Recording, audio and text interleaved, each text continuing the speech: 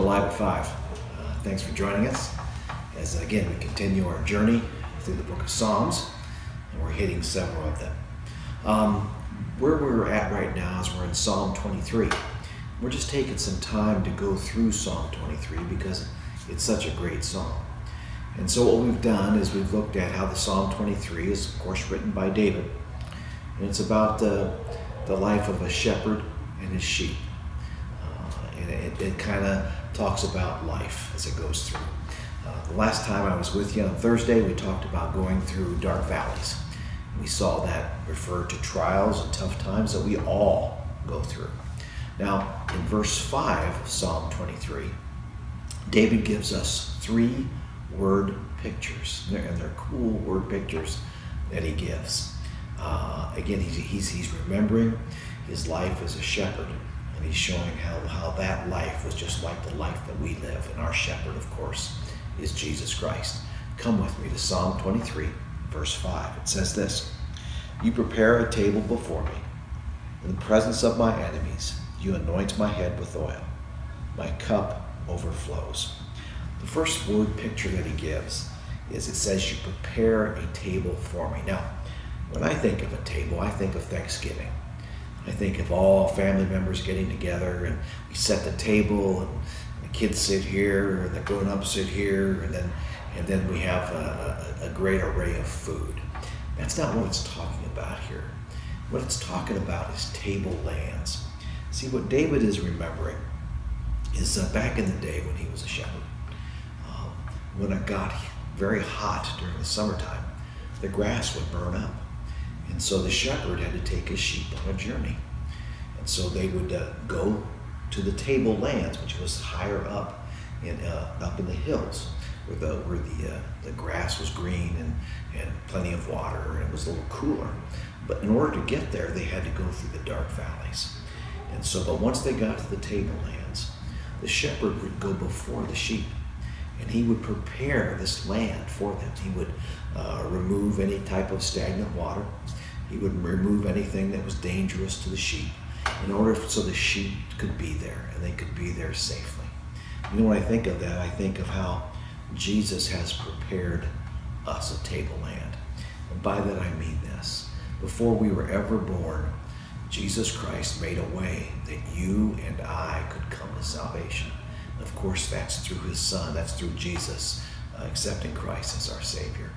Uh, he also prepared a way for us to get right with him. You know, I think we all have, uh, as sheep, have wandered off and gotten sideways in our walk with the Lord. But Jesus made a way so that we could always come back. We have a God that is full of mercy and grace and loves to have us come back home to Him. Also, He prepared works for us to do. Ephesians 2.10 talks about this. Ephesians 2, 8, 9 are very, very important verses on salvation. Then you come to Ephesians 2.10, talks about after we're saved, that we have all of these works that, uh, that God has prepared beforehand that we should work in them. So, just like the shepherd prepared the tableland, the sheep, our Savior has prepared our tableland, if you will.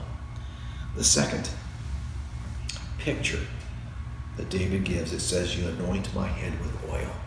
Now, what that's talking about is back in the day when, uh, sheep would be out and about, and there'd be all sorts of flies. And these flies would be buzzing around their head. Well, what happened is these flies would go up in their nostrils, and they would uh, they would lay their eggs there. And of course, these eggs would hatch, and then they'd be run all through um, the head of the, of the sheep, all through the nasal passages, and just driving the sheep crazy. In fact, the sheep would be seen banging their head against rocks and trees to get the get the buzzing and get these things uh, stopped from crawling through their their uh, nasal passages. And so, what the uh, shepherd would do is he would take oil and he would make a uh, insect repellent, if you will, and he would put this all over the sheep's head and uh, it would protect the sheep um, from any of these insects. And in fact, they say the sheep could be standing there with all these flies flying around and uh, not be touched by any of them. You know, it's the same thing with us, brethren. Um, sometimes we get unrepentant sin in our lives. uh, if we don't deal with it, it will just continue to bother us and bother us and bother us.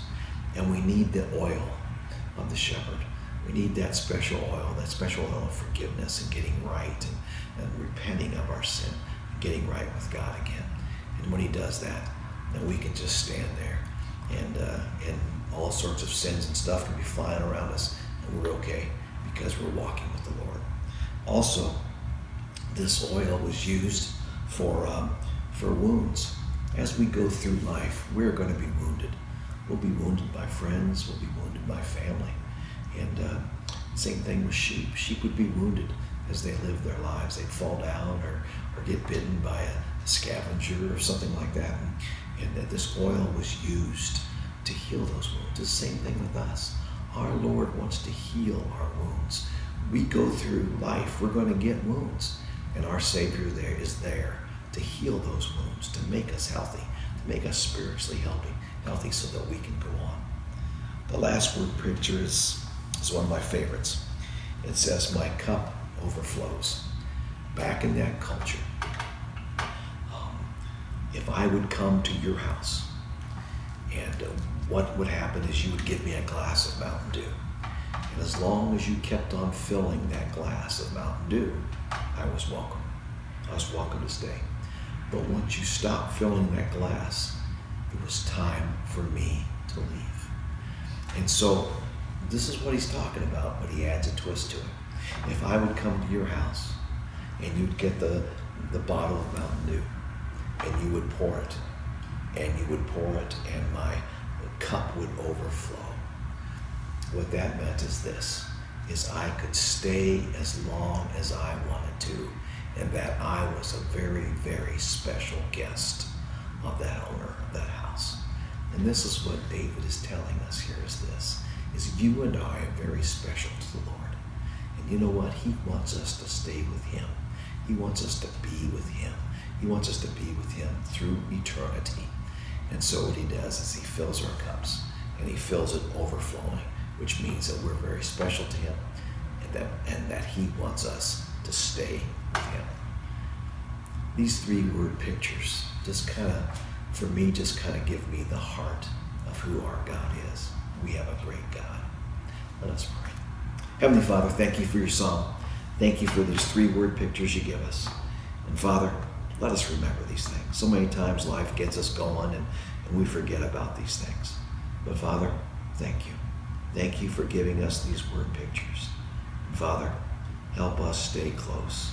And Father, thank you that we are always welcomed in your house and that we can always, always stay as long as we want.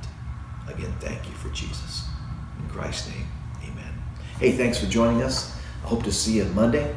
Again, have a great weekend, and uh, hopefully, I'll see you at church. Thanks.